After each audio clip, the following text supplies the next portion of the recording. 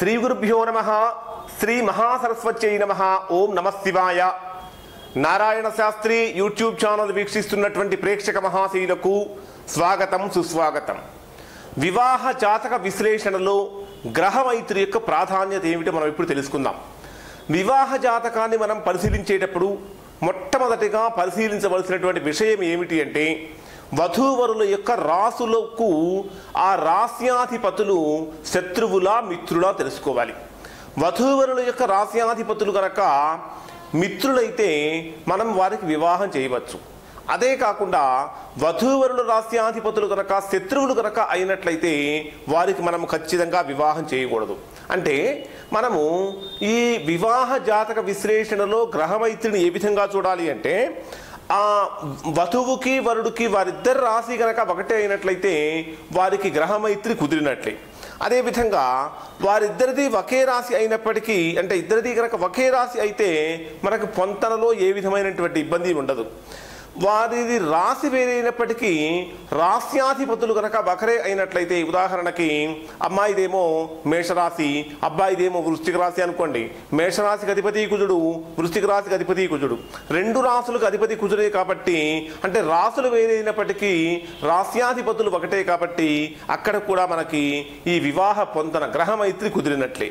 అదేవిధంగా వధూవరుల యొక్క రాస్యాధిపతులు కనుక శత్రువులైనట్లయితే మనకు మనం ఆ వివాహం చేయకూడదు. ఒకవేళ రాశి చక్రంలో గనక వధూవరుల యొక్క వధూవరుల యొక్క ఈ రాస్యాధిపతులు గనక శత్రువులుగా ఉండి మిగిలినటువంటి అన్ని విషయాలు గనక బాగున్నట్లయితే అప్పుడు మనము నవాంశ చక్రంలోకి వెళ్ళాలి.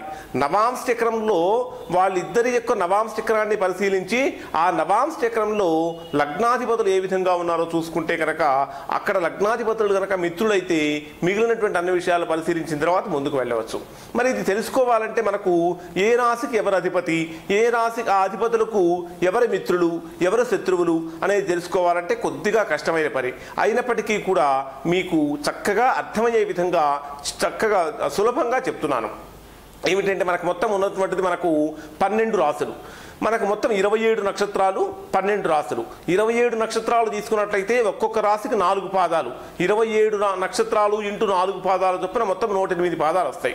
మొత్తం మనకు ఉన్నది మేషం నుంచి మీనం వరకు ఉన్నటువంటివి మొత్తం మనకు పన్నెండు రాసులు ఈ పన్నెండు రాసుల్లో ఒక్కొక్క రాశికి తొమ్మిది పాదాలు చొప్పున పన్నెండు ఇంటూ తొమ్మిది అంటే నూట ఎనిమిది పాదాలు. అంటే ఒక్కొక్క రాశిలో తొమ్మిది పాదాలు ఉంటాయి మనకి. మరి మేషరాశిని కనుక తీసుకున్నట్లయితే ఈ మేషరాశికి అధిపతి కుజుడు.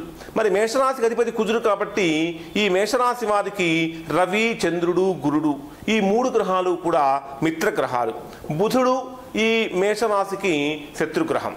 ఇక శుక్రుడు శని ఈ మేషానికి సమా అంటే సమానమైనటువంటి వారు సమానమైనటువంటి హోదా కలిగినటువంటి వారు. అదే వృషభ రాశిని కనుక తీసుకున్నట్లయితే వృషభ రాశికి అధిపతి శుక్రుడు.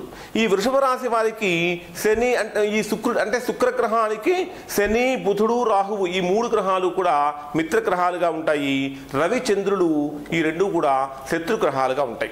అదేవిధంగా కుజుడు గురుడు ఈ శుక్రుడికి సమానమైనటువంటి గ్రహాలు. మిథున రాశిని గనక తీసుకున్నట్లయితే మిథున రాశికి అధిపతి బుధుడు. ఈ మిథున రాశికి అధిపతి బుధుడు కాబట్టి బుధ గ్రహానికి రవి మరియు శుక్రుడు రెండు గ్రహాలు కూడా మిత్రగ్రహాలు. చంద్రుడు ఇక్కడ శత్రుగ్రహం అవుతుంది. కుజుడు మరియు గురుడు శని ఈ మిథున రాశికి అంటే బుధుడికి ఇవి సమానమైనటువంటి గ్రహాలు అవుతాయి. తరువాత కర్కాటక రాశిని కనుక తీసుకున్నట్లయితే కర్కాటక రాశి వారికి అధిపతి చంద్రుడు. ఈ రాశ్యాధిపతి చంద్రుడు కాబట్టి వీరికి రవి మరియు బుధుడు ఈ రెండు గ్రహాలు కూడా మిత్రగ్రహాలు అవుతాయి. అసలు చంద్రుడికి ఎవ్వరూ శత్రువులు అనేవాళ్ళే లేరు. అయితే కుజుడు గురుడు శుక్రుడు శని ఈ నా ఈ నాలుగు గ్రహాలు ఈ వీరికి కర్కాటక రాశి చంద్రుడికి సమానమైనటువంటి గ్రహాలు సమాలు. సింహరాశిని కనుక తీసుకున్నట్లయితే సింహరాశికి అధిపతి రవి. ఈ సింహరాశికి అధిపతి రవి కాబట్టి ఈ రవి గ్రహానికి చంద్రుడు కుజుడు గురుడు ఈ మూడు గ్రహాలు కూడా మిత్రగ్రహాలు. శుక్రుడు మరియు శని రెండు గ్రహాలు శత్రు గ్రహాలు బుధుడు రవికి సమానమైనటువంటి గ్రహము. కన్యా రాశిని కనుక తీసుకున్నట్లయితే మిథున రాశిలో ఏం చెప్పుకున్నామో కన్యా రాశిలో కూడా అవే ఉంటాయి. ఎందుకంటే కన్యా రాశికి అధిపతి కూడా బుధుడే. ఈ కన్యా రాశికి అధిపతి బుధుడు కాబట్టి రవి మరియు శుక్రుడు ఈ రెండు కూడా ఈ కన్యా రాశి వారికి వీరికి ఆ, మిత్రగ్రహాలు అవుతాయి. ఈ దీనికి చంద్రుడు శత్రువుగా ఉంటాడు. తర్వాత గురుడు కుజుడు శని ఈ కన్యా రాశి వారికి సమానమైనటువంటి గ్రహాలు. ఇక తులా రాశి వారిని కనుక తీసుకున్నట్టయితే తులా రాశికి అధిపతి శుక్రుడు. ఈ తులా రాశికి అధిపతి శుక్రుడు కాబట్టి దీనికి శని బుధుడు ఈ రెండు గ్రహాలు కూడా ప్రధానమైనటువంటి మిత్ర గ్రహాలు తర్వాత శత్రుగ్రహాలను కనుక తీసుకున్నట్లయితే రవి మరియు చంద్రుడు వీరికి శత్రుగ్రహాలు కుజుడు మరియు గురుడు వీరికి సమానమైనటువంటి గ్రహాలు. వృశ్చిక రాశిని కనుక తీసుకున్నట్లయితే ఈ వృశ్చిక రాశికి అధిపతి కుజుడు దీనికి రవి చంద్రుడు గురుడు వీటికి మిత్ర మిత్రగ్రహాలు బుధుడు ఈ వీటికి శత్రుగ్రహం. శుక్రుడు మరియు శని వీటికి సమానమైనటువంటి గ్రహాలు. ధనుర్రాశిని కనుక తీసుకున్నట్లయితే ధనుర్రాశికి అధిపతి గురుడు. ఈ గురుడికి రవి చంద్రుడు కుజుడు ఈ మూడు కూడా మిత్రగ్రహాలు అవుతాయి బుధుడు శుక్రుడు శత్రుగ్రహాలు అవుతాయి శని సమానమైనటువంటి గ్రహం అవుతుంది.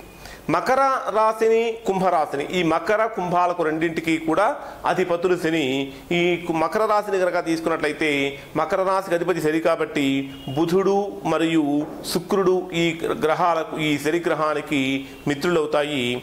రవి చంద్రుడు కుజుడు ఈ మూడు ఈ మకర రాశి వారికి శత్రుగ్రహాలుగా ఉంటాయి. గురుడు సమానమైనటువంటి గ్రహంగా ఉంటుంది. అదేవిధంగా కుంభరాశికి కూడా అదే విధంగా ఉంటుంది. బుధుడు రాహువు ఈ కుంభరాశి వారికి మిత్రగ్రహాలుగా ఉంటాయి. రవి చంద్రుడు కుజుడు శత్రుగ్రహాలుగా ఉంటాయి. గురుడు సమానమైన గ్రహంగా ఉంటుంది. మీనరాశిని కనుక తీసుకున్నట్లయితే మీనరాశికి అధిపతి గురుడు. ఈ గురుడు కాబట్టి రవి చంద్రుడు కుజుడు ఈ మూడు గ్రహాలు కూడా మిత్రగ్రహాలు అవుతాయి. బుధుడు మరియు శుక్రుడు శత్రుగ్రహాలుగా ఉంటాయి. శని సమానమైనటువంటి గ్రహము. ఇప్పుడు మనం మేషము నుంచి మీనం వరకు ఉన్నటువంటి గ్రహాలను తీసుకున్నాము. ఆ గ్రహాలకు ఏది మిత్రగ్రహము ఏది శత్రుగ్రహము ఏది సమానమైన గ్రహమో తెలుసుకున్నాము. ఇప్పుడు వధువు జాతకాన్ని వరువు వరుడు యొక్క జాతకాన్ని పక్కపక్కన పెట్టుకొని ఆ ఇద్దరు రాస్యాధిపతులు శత్రువుల మిత్రుల అని కనుక చూసినట్లయితే వారిద్దరూ కనుక మిత్రులు కనుక అయితే మనము వివాహం విషయంలో చక్కగా ఒక్క అడుగు మనం ముందుకు వేయచ్చు. ఇది వివాహ జాతక విశ్లేషణలో ప్రధానమైనటువంటి గ్రహమైత్రికి సంబంధించినటువంటి విషయం. ఈ వీడియో కనుక మీకు నచ్చినట్లయితే ఈ సింబల్ మీద టచ్ చేసి లైక్ చేయండి. మరిన్ని వీడియోల కోసం Narayana Shastri YouTube channel subscribe చేసుకోండి.